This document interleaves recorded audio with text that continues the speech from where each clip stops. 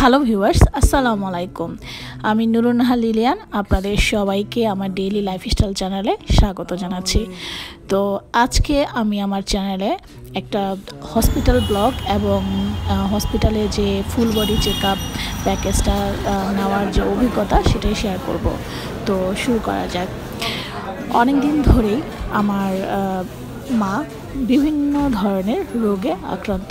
প্রায় বিশ বছর তো উনি পিজি হসপিটাল সহ পিজি হসপিটাল তারপর হচ্ছে ল্যাবেড সহ অ্যাপোলো বিভিন্ন হসপিটালে তার চিকিৎসা হয়েছে। তো ওনার শেষ অবধি হচ্ছে থাইরয়েড তারপরে হচ্ছে হার্টের ডিজিজ এগুলো ধরা পড়েছে। তবে মেন সমস্যা যেটা, সেটা হচ্ছে হার্ট হার্টের একটা ইস্যু ওনার ধরা পড়েছে। তো লাস্ট তিন মাস, ছয় মাস বা বছরে একবার ওনার একটা ফুল চেক আপ করা হয়। তো ল্যাবেড হসপিটাল যেহেতু আমার বাসার কাছে, তো ল্যাবেড হসপিটালে একটা full body check up package আছে। এখানে তিন রকমের প্যাকেজ একটা হচ্ছে সাড়ে সাত হাজার, আরেকটা হচ্ছে সাড়ে আট হাজার, আরেকটা হচ্ছে সাড়ে এগারো হাজার। তো সাড়ে সাত হাজার যেটা, সেটা হচ্ছে একটা জেনারেল হেলথ চেক আপ আর সাড়ে আট হাজার যেটা, এটা হচ্ছে স্ট্যান্ডার্ড হেলথ চেক আপ আর যেটা প্রিমিয়ার সেটার মধ্যে অনেক কিছু আছে। এখানে ব্লাডেরই অনেক রকমের প্যাকেজিং অনেক রকমের রোগের রোগ নির্ণয় সহ এখানে এর বেশ কিছু বেনিফিট আছে। যেমন ফ্রি ডায়েটিশিয়ান তারপরে ফ্রি কাউন্সেলিং তারপর এখানে একটা ব্রেকফাস্ট অথবা স্ন্যাক্সের একটা আইটেম খাওয়ানোর, খাওয়ার একটা অন্তর্ভুক্ত আছে একটা প্যাকেজ মানে একটা খাবার দিবে ওরা ফুল এই প্যাকেজটার মধ্যে। তবে নর্মাল যেটা এটা সাড়ে সাত হাজার হলেও আমার মনে হয় না খুব একটা কাভার করে। কারণ মানুষের কিন্তু এখন প্রচুর প্রচুর রোগ, বিভিন্ন মানুষের বিভিন্ন ধরনের রোগ আক্রান্ত এবং অনেক রোগ সম্পর্কে মানুষের ধারণাই নেই। এবং আমি নিজেও হয়তো জানতাম না।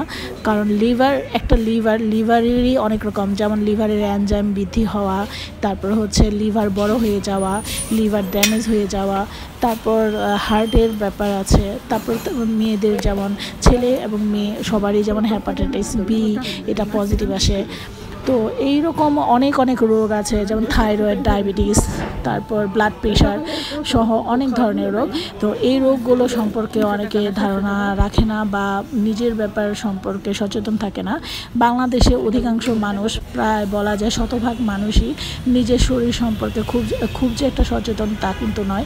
কারণ বেশিরভাগ মানুষ হচ্ছে ভালো ভালো খাবার খেতে পছন্দ করে।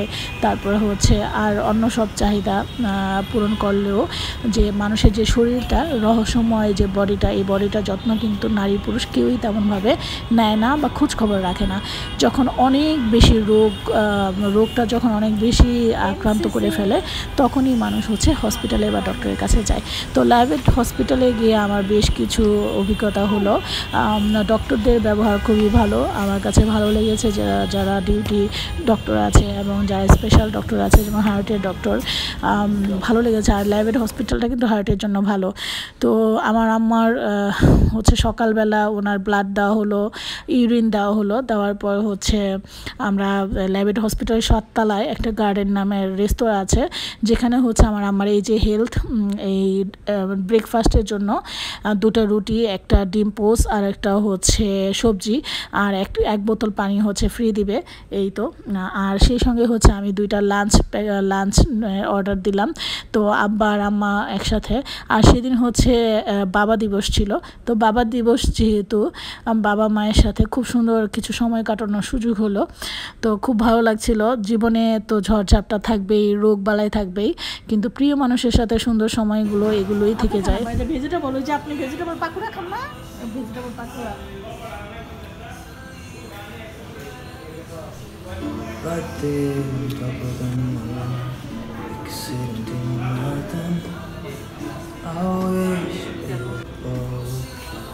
I wish to. I don't wanna care. And I'm good alone. I'll be okay, miss you like an old friend. Too scared now, thinking I should call up. I'm not.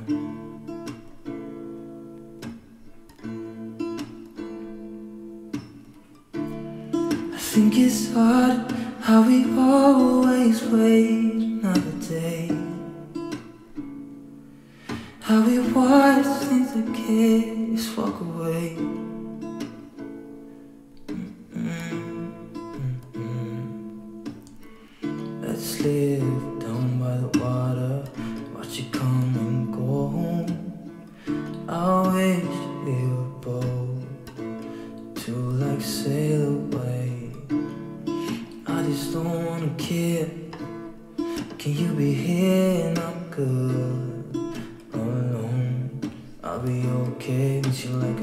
Friend. Too scared now, thinking I should call up on তো যা বলছিলাম বহুকাল পর বাবা মাকে কাছে পেলাম। তাদের রেগুলার চেক আপ এবং আমার মেজো বোন হজে যাচ্ছেন বা অলরেডি এখন হজে আছেন আর সেই কারণে তারা ঢাকায় এসেছেন। আর আমাদের বাসা তো মুন্সীগঞ্জ মোটামুটি যারা আমাকে চেনে তারা সবাই জানে। তো দীর্ঘদিন নিজের বা, নিজের কাজের ব্যস্ততা এবং সাংসারিক রেসপন্সিবিলিটির কারণে বাবার বাসা যাওয়া হচ্ছিল না এবং বৃদ্ধ বাবা মাকে কাছে পাওয়া হচ্ছিল না। বিষয়টা আমাকে খুবই অপরাধ অপরাধ বোধে ভোগাচ্ছিল, কিন্তু কিছুই করার থাকে না। মেয়েদেরই সবসময় স্যাক্রিফাইস করতে হয়। আর মেয়েরা যদি স্যাক্রিফাইস না করে, দেখা যায় যে একটা সাংসারিক ব্যালেন্স সেটা নষ্ট হয়ে যায়। তো সেই ব্যালেন্স রক্ষা করতে গিয়েই আমাদেরকে স্যাক্রিফাইস করতে হয়। কাউকে না কাউকে তো স্যাক্রিফাইস করেই একটা সংসারের সৌন্দর্য ধরে রাখতে হয়। তো যাই হোক, আল্লাহ এই বা সুযোগটা করে দিয়েছে বহুদিন পর বাবা মাকে কাছে পাওয়ার। তো এই সুযোগে তাদের সঙ্গে সুন্দর কিছু মেমোরি ধরে রাখতে পারলাম। এই জন্য মহান আল্লাহর কাছে অশেষ কৃতজ্ঞতা। তো এই গার্ডেন ক্যাফেটা বা রেস্তোরাঁটা যে যে খাবারগুলো আছে সেগুলো মোটামুটি এক্সপেন্সিভ বলা যায়। কারণ খুব স্বাভাবিকভাবে ধানমন্ডির মতো একটা জায়গায়, ল্যাবেড হসপিটালের মতো একটা ফেমাস হসপিটাল সেখানে খাবার দাবার যদি কম দামি হয় তাহলে তো একটা প্রেস্টিজে থাকে না। ও, যেটা বলছিলাম আমি যে হেলথ চেক আপ প্যাকেজটা নিয়েছি, এটার মধ্যে ইকো তারপরে হচ্ছে ইসিজি এক্স রে আলট্রাসাউন্ড এই চারটা বিষয় আছে। আর সেই সাথে হচ্ছে ব্লাডের মধ্যে যা যা অনেক ধরনের রোগ, যেগুলো ডায়াবেটিস থাইরয়েড তারপরে হচ্ছে বিভিন্ন ধরনের অনেক অনেক ধরনের প্রবলেম থাকে, যেমন লিভারের এস জিপিটি আছে কি বেড়েছে কিনা কমেছে কিনা লিভার কন্ডিশন কিডনি কন্ডিশন তারপরে হচ্ছে বিভিন্ন ধরনের অন্যান্য যেমন ভাইরাসজনিত প্রবলেম থাকে না, রক্তের মধ্যে সেগুলো ধরা পড়ে। তো আমার মনে হয় এই প্যাকেজটা একেবারে খারাপ না। যদিও একটু এক্সপেন্সিভ সাড়ে এগারো হাজার টাকার প্যাকেজটা হলেও বছরে বা দুই এক বছরের মধ্যে প্রত্যেকটা মানুষেরই করা উচিত। সরকারি হসপিটালগুলোতে কিন্তু সেইভাবে ডক্টররা মনোযোগ দিয়ে কথা শোনে না। আর এত এত রুগী চারপাশে সেখানে বেঁচে থাকা, নিজের প্রপার ট্রিটমেন্ট নেওয়া খুবই খুবই কঠিন। তো যেটা বলছিলাম ল্যাবেড হসপিটালের ডাক্তাররা ভালো হলেও এখানে আলট্রাসাউন্ড মানে ধানমন্ডি ল্যাবেড হসপিটালের কথা বলছি, আলট্রাসাউন্ড এবং ইকো সেকশনের যে নর্মাল স্টাফগুলো আছে, যারা রোগী বা পেশেন্ট যখন যায় তাদের যে সিরিয়াল নেয় বা তাদের যে সার্ভিসটা দেয়, খুবই খুবই বাজে। মানে বাজে কোন লেভেলের বাজে, এটা আসলে কোনো ভাষাতে এক্সপ্রেস করা যায় না। তো এরকম একটা এক্সপেন্সিভ প্যাকেজ ক্রয় করে সেই সার্ভিস নিতে গিয়ে যদি এই ধরনের বাজে অভিজ্ঞতা হতে হয়, তারা কোনো রকমই সহযোগিতামূলক আচরণ করে না এবং একটা পেশেন্টের সাথে যে কীরকম পজিটিভ এবং সহনশীল অ্যাপ্রোচ দিতে হয় সেটা তারা জানে না। তো যাই হোক এগুলোর সমস্ত জিনিস কমপ্লিট করার পর আমরা যখন রেগুলার যে ডক্টর ডক্টরের সঙ্গে দেখা করলাম তো এই প্যাকেজের অধীনে আছে যে সমস্ত চেক করার পর মানে টেস্ট করার পর একটা রেগুলার ডক্টর তার কি কি রোগ নির্ণয় হয়েছে সেটা দেখাবে। তো আমরা সেটা রিপোর্ট পাওয়ার পর দেখালাম। তো দেখানোর পর হার্টের সামান্য ইস্যু যেটা আগেই ছিল, তারপর সোডিয়াম ক্লোরাইড কমে গিয়েছে হিমোগ্লোবিন কমে গিয়েছে। তো দীর্ঘদিন আমার মা অসুস্থ বিভিন্ন রোগে। রোগ এবং শোক মানুষকে ধ্বংস করে দেয়। খুব স্বাভাবিকভাবে প্রকৃতির নিয়মে বহু বছর ধরে মানুষ যখন বিভিন্ন রোগে আক্রান্ত থাকে, তখন তার বায়োলজিক্যাল এবং অবয়ব অনেক পরিবর্তন হয়। একটা সময় আমার আব্বা মা খুবই সুন্দর কাপল ছিলেন, যেটাকে বলে সুদর্শন যুবক এবং সুন্দরী রমণী। কিন্তু ওই যে বলে না, বাহ্যিক সৌন্দর্য শেষ হয়ে যায়, কিন্তু মানুষের হৃদয়ে সৌন্দর্য, মানুষের সৌন্দর্যটাই থেকে যায়। এটাই সত্য। অনেকেই বলেন, পৃথিবীতে নাকি ভালোবাসা নাই। কিন্তু আমি তো দেখি আমার ঘরেই একটা অভূতপূর্ব ভালোবাসা রয়ে গিয়েছে। সেটা হচ্ছে, দীর্ঘ বিশ বছর ধরে আমার মা অসুস্থ থাকায় আমার আব্বা নিয়মিত তাকে টেক কেয়ার করছেন। তিনি নিজেও কিন্তু প্রায় আশি বছর বয়সী একজন বৃদ্ধ লোক। তো মানুষ যে বলে যে পৃথিবীতে ভালোবাসা নাই, এটা আসলে সবসময় সবার জন্য প্রযোজ্য না। আমি নিজে যদি ভালোবাসতে পারি, অবশ্যই ভালোবাসা আমাদেরকে ঘিরে থাকবে। আর এই যে চারিদিকে চাকচিক্য, মিথ্যা মিথ্যা সৌন্দর্য, মিথ্যা আভিজাত্যের লড়াই, এটা কিছুই থাকে না। দিন শেষে এই যে আপনার পরন্ত বেলায় যে মানুষটা আপনার হাত ধরে থাকে, সেই হচ্ছে আপনার পরম আপনজন। তো ল্যাবেডে হসপিটালটা একেবারে খারাপ না, তবে ভাগ্য ভালো হলে ভালো ডাক্তার পাওয়া যায় আর ভাগ্য খারাপ হলে খারাপ ডাক্তার।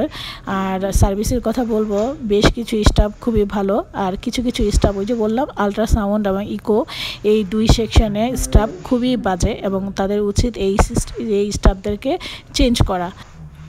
Right there